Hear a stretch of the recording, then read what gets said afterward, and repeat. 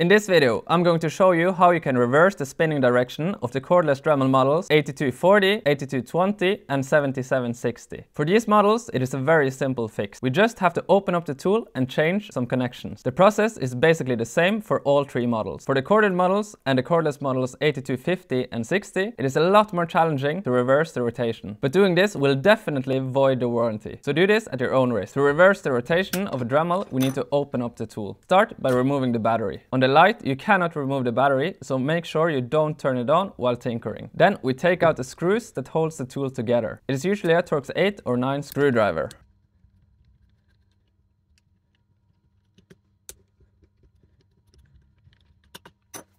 Some models also have a pin at the back that we need to remove.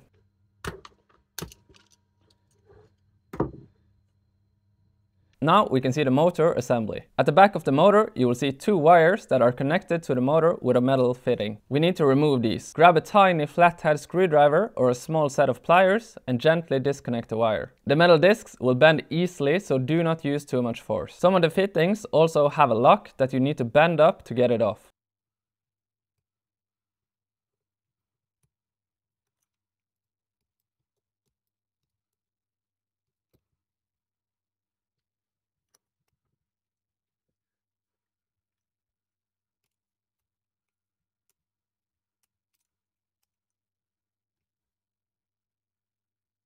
When the wires are removed, we simply lift up the motor and turn it 180 degrees. Then we place the motor back down into our Dremel and gently connect the wires again.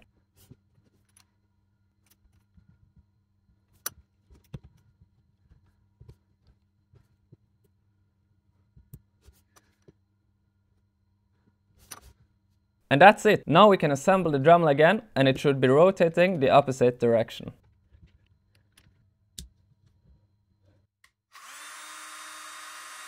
Now I can finally sand without the dust spraying into my face. And left-handed people can also use the Dremel the way it was intended. This rotation will also transfer to the flex shaft. But we need to be wary of some things when using the Dremel in reverse. When cutting metal, you will sometimes experience kickback. When running the Dremel in reverse, the kickback will happen in the opposite direction. Normally, the kickback would go into your right hand, so it is easy to control. But now, the kickback will go away from your right hand so it might be easier to lose control of the tool when this happens. The durability of the tool might also suffer. All of these models use brushes. These brushes are used to running one way. When we reverse the direction, the brushes might run less smoothly against the commutator and increase the wear in the brushes. But this is just one of my theories, so I cannot say it for sure. Some of the motors have padding, so it sits perfectly in the casing.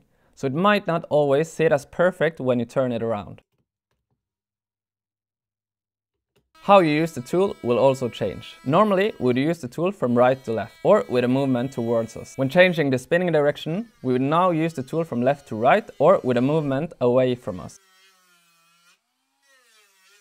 When for example wood carving, the advantage is that the dust will blow away from you, but wood carving with a push stroke is harder than wood carving with a normal pull stroke. It is also easier to accidentally hit yourself when using the Dremel in reverse. If you're holding a piece like this when wood carving, the Dremel will naturally want to travel towards your left hand. And that is how you reverse the rotation of the cordless Dremel rotary tool models 7760, 8220 and 8240. See you next time!